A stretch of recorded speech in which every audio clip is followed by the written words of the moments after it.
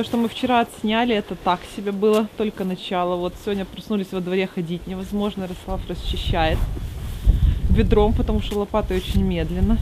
И снег все еще продолжает идти, есть метель. Вот, и мы скидываем все на ту зону, где трава, потому что если он начнет таять, так оно получается может же даже в дом вот этот, вот этот гаражик залиться. И вообще, э, как я уже говорила, все заблокированы по домам, никто не может выехать ни в магазины, но я думала о другом, если тебе надо в больницу. Здесь, в принципе, скорая по не, очень таким серьезным вопросам не приезжает. Вот, и я себе думаю, как же люди добираются, если вот у них что-то случается, это вообще хороший вопрос. Вот наша деревня, здесь построены такие дома. Э, Они все почти что одинаковые, какие-то двухкомнатные, какие-то трехкомнатные. И Это муниципальная деревня, то есть она была построена, здесь ничего не было, там до 60-х, 70-х годов. И потом э, из главного города решили там выселить всяких э, наркоманов подальше. И вот И построили... вот мы здесь. Да.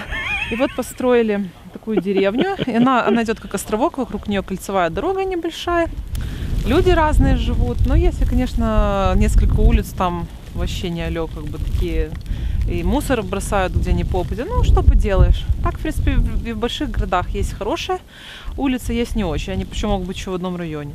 Ну, есть, конечно, наверное, супер какие-то районы, где все просто посланники Божьи, замечательные люди.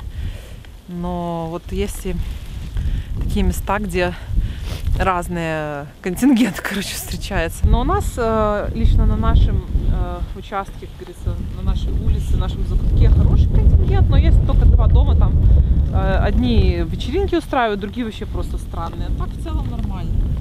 Дело в том, что те, кто сидят на пособиях, они вообще не выходят на улицу, они как бы, у них особо никаких интересов нет, поэтому сидят там что-то дома, наверное, бухают. Ну, как-то, ну, они, в общем, не, не- как бы не собираются, как гопники, например, да, вот во дворах и думают, кого перестать. Они просто сидят по домам. Вот. э, До Кардифа отсюда ехать э, по трассе минут 40, по другой дороге минут 30, ну, до границы Кардифа, смотря куда надо. Если надо вообще на другой конец Кардифа, понятно, что дольше ехать, потому что через весь город, но это уже не считается. То есть можно за 20 минут до столицы доехать, что я считаю очень приемлемо. Вот там гора, там ферма есть. А Вот здесь э, тоже такие же дома, как у нас. Там, не знаю, может и не видно, э, есть табличка, продался дом недавно за 70 тысяч, двухкомнатный. То есть, в принципе, более-менее нормальные цены. Вот здесь прям э, в селе есть большая школа, для, начальная для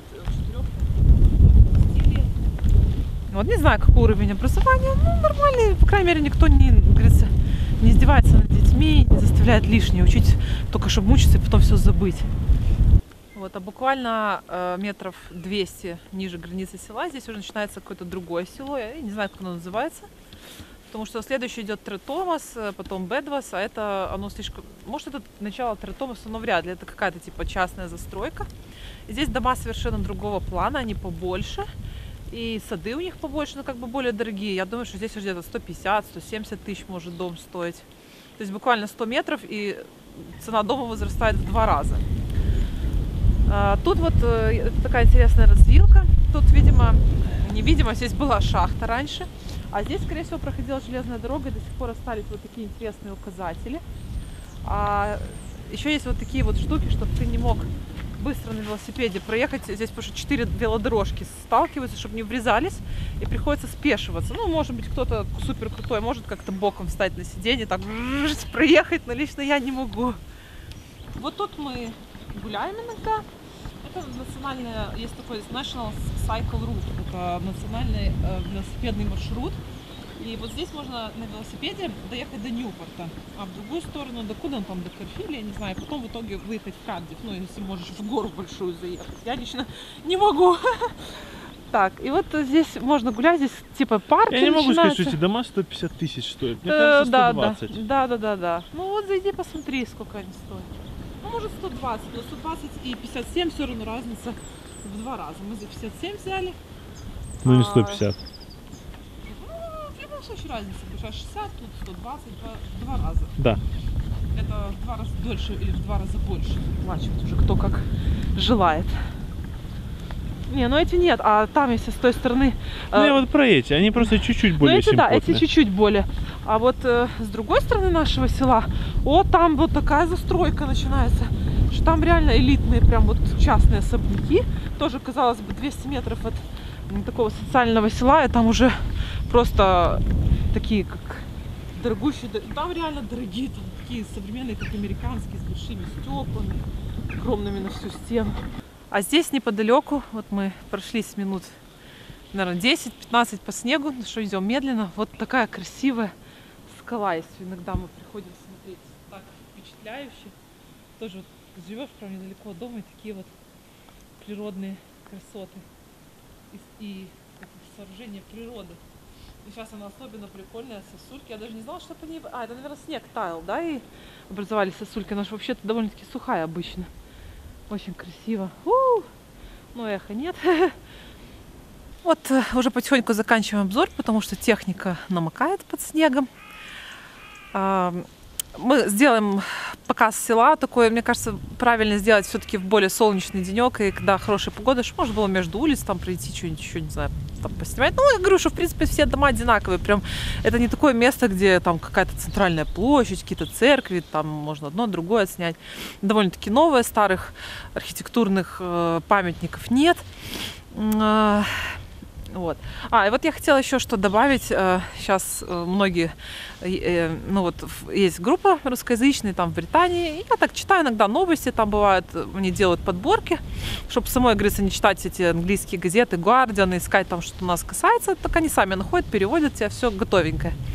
И вот э, там э, сидят эти форумчане, можно так сказать, фейсбуковцы, пишут, что ой, слабаки, тут выпало 5 сантиметров снега, у них уже все там, это, э, эти англики уже там обосрались, не знаю что. Ну, во-первых, почему ты ненавидишь людей в, стр- в страну, в которых ты приехал, это один вопрос, но дело не в этом. А я вот думаю, а что плохого? Вот выпал снег, у людей нет зимней резины, у всех эти машины переднеприводные, они вообще не тянут в горку на снегу. То есть все закрыли, то есть сказали, что для безопасности не надо детей в школу возить, не рискуйте. А что, вот, то есть нормально, когда с- с- куча снега, давайте все в маршрутки, в троллейбусы, давитесь, э, и транспорт еле ходит, стойте по три часа в пробках, но чтобы ты приехал на свою работу, понимаешь, что должен там.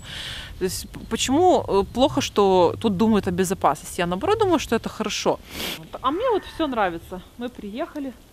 Я считаю, что если у них такой уклад, если страна считает, что когда снег, лучше не рисковать здоровьем своих граждан, то, по-моему, это хорошо. Как бы, тем более здесь, правда, снег выпадает там три дня за зиму бывает.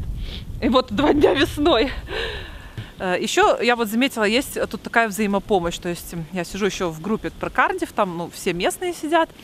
И вот люди, у которых машина 4 на 4, там всякие эти джипы, да, как говорится, они говорят, я могу э, при- привести врачей, например, в больницу на работу, да, то есть бесплатно он отвозит вот с этого региона, где мы живем, привозит в Кардив, например, в главную больницу всяких хирургов, там, медсестер, кому надо, говорит, я вас подвезу, типа, то есть бесплатно э, оказывается помощь. И, и, и даже вот можно написать, я там застрял, если кто-то может подъехать на такой машине, вытащить, то есть реально э, как бы ощущается какой-то дух и злости вот это нет, как бы, ну снег, снег, люди друг другу помогают.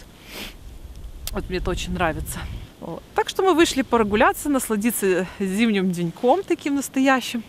А здесь местные, говорю, они не выходят, но я могу понять, у них, скорее всего, даже нет зимней одежды, варежек таких как-то, ну, никто не подготовлен. Даже у меня сапоги не, не зимние, как бы так. Только на них попадает снег, уже что-то начинаешь ощущать ногой, то у меня две пары теплых носков. Вот, спасибо за просмотр, ставьте лайки и подписывайтесь на канал.